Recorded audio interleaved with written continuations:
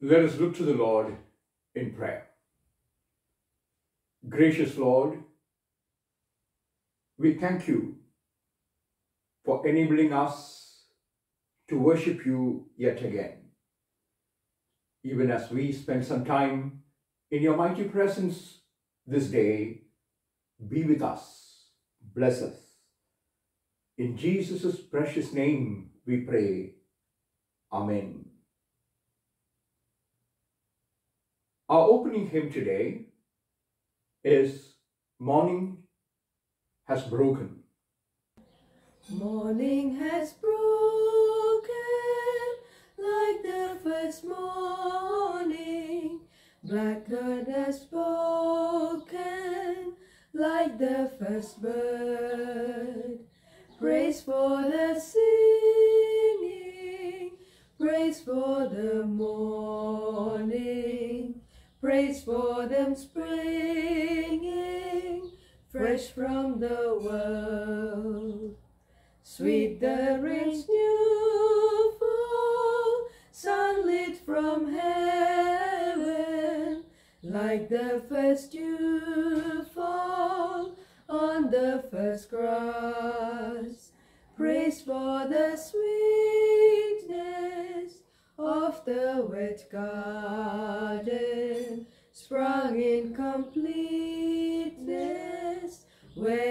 feet pass. Mine is the sunlight, mine is the morning, born of the one light, Eden so plain. Praise with elation, praise every morning, God's recreation of the new day. We hear from the Psalm, Psalm 15. Today's psalm is taken from Psalm 15. O Lord, who shall sojourn in your tent? Who shall dwell on your holy hill? He who walks blamelessly and does what is right and speaks truth in his heart, who does not slander with his tongue and does no evil to his neighbor, nor takes up a reproach against his friend, in whose eyes a wild person is despised, but who honors those who fear the Lord, who swears to his own heart and does not change, who does not put out his money at interest, and does not take a bribe against the innocent. He who does these things shall never be moved. Glory be to the Father, and to the Son, and to the Holy Spirit, as it was in the beginning, is now, and ever shall be, world without end. Amen. The reading for today's meditation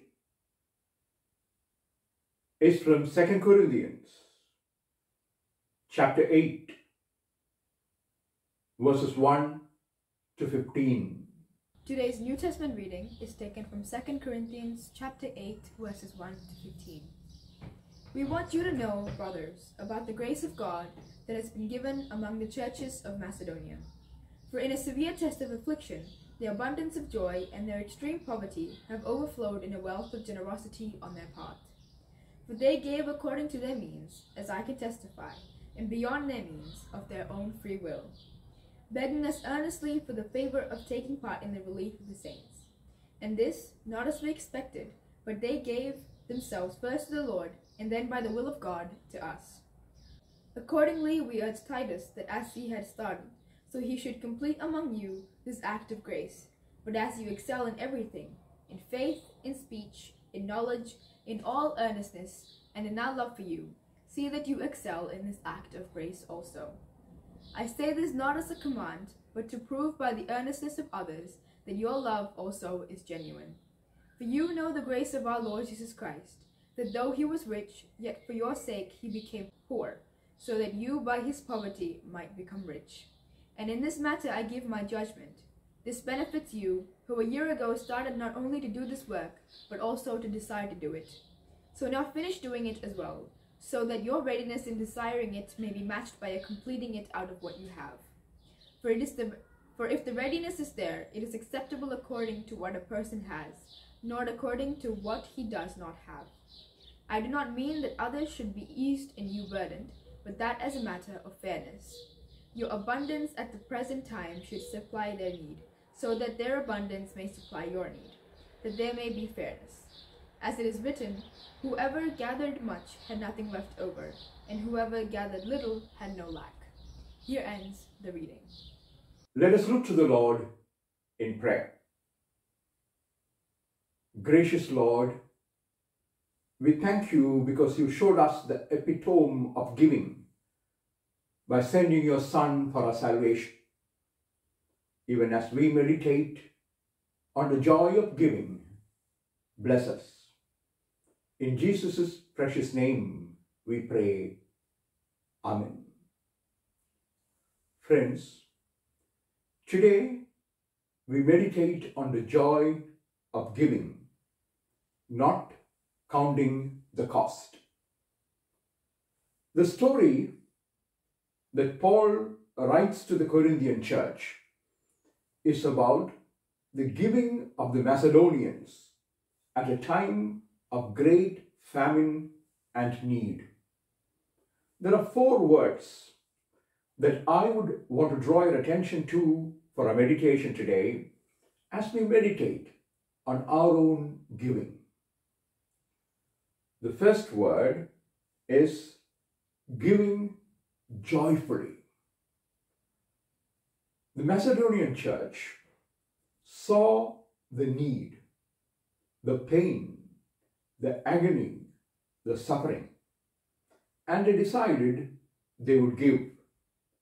In verse 2, Paul uses four phrases to tell us of their joyful giving.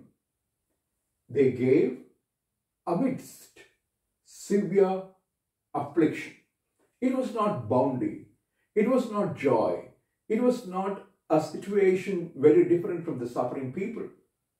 Even the Macedonians went through afflictions. Yet, their own afflictions did not stop them from giving. The second phrase that Paul uses in this verse is they gave with abundant joy. Giving was not a burden for them. Giving was not a sad situation for them. There was no sorrow in giving. They gave with joy, as if they were giving unto God. Third, in that particular verse, Paul says, they gave from their extreme poverty. Friends, sometimes people are hesitant to give even in their fullness, even in their richness. But here, the people of Macedonia were giving in extreme poverty. And the last phrase that we read in verse 2 is overflowing generosity.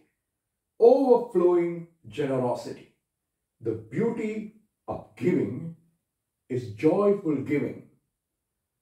I always think about our foreparents when I look at the church compound in which that I grew up. If we walk into the LMS compound, despite all that is happening around us, just take a look. We enter, and on that one side, we have the child welfare complex. I remember the huge playground, the stone school, and the days in which we played there. And when they decided to build, we were told by the church leadership then, we are going to build a commercial building here so that the income that would come from that building will be used for the care and support for the suffering children in the years to come. The Child Welfare Complex. The next is a school building. Education is the greatest gift we could offer to the poor. The school for ordinary children around us. The next, we have the embroidery center. Poor women from villages who were excellent in stitching and embroidery work came together to do embroidery, and that was a hit marketing item. We then have the Balika Mandiram and the Pratyasha home. Children who are denied the privilege of a happy home up to class 10 in the Balika Mandiram. And after that, as long as they want to study in Pratyasha, people across the world supporting them. We then have hostels for safe stay of women, students, and working. And then the earlier polio home, which is now the Center for the Rehabilitation of the Disabled, where we have institutional based care, community based care, therapies, special schools, and whatnot. We have also the Women Resource Center, the Dalit Resource Center, all, all these institutions, among several others, were testimonies for the joyful giving of our parents from within their poverty, from within their afflictions. They always wanted to give, give joyfully. New generations, we are challenged to give, not counting the cost, so that others may have life. There is one life, very precious, eternally precious, and that life cannot be wasted in negativity. The second important thought that Paul writes to the Corinthian church is that they voluntarily gave. According to their means, they gave voluntarily. Giving is not because somebody else compels us to do. Giving is not to show the world that we are people who give. Giving is something that comes from the heart. Giving is the very nature of the Christian. Giving is the very essence of Christian existence. And that's where that's why Paul writes, they give, they gave according to their means, not below their means. But the testimony of Paul to the giving of the Macedonians is that they gave beyond their means.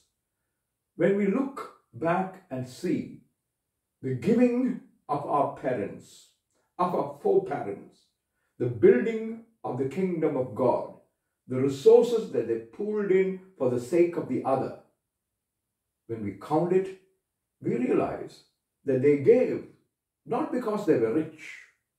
They gave in their poverty, they voluntarily gave, they gave beyond their means, giving, not counting the cost. Friends, we have traveled through the toughest phase of a pandemic. Global mission was affected in several ways, but through it all, through it all, we realized one important thing. Leading a major mission movement, I can strongly testify that we never ever had resource crunch. When there was need, resources were available, and we were called to be channels of resourcing people in need. People gave, gave according to their means, and gave excess. And we today praise the Lord for the same. Thirdly, Paul writes about prayerful giving. Giving was a spiritual activity. And that's why Paul writes, they gave themselves to God first and then gave to us so that the people in need could be helped. Giving comes out of our giving ourselves to God. And once we give ourselves to God and allow God to take reign in our lives, then what Jesus says becomes very meaningful in our lives. The little you do to the least of these, you do it unto me.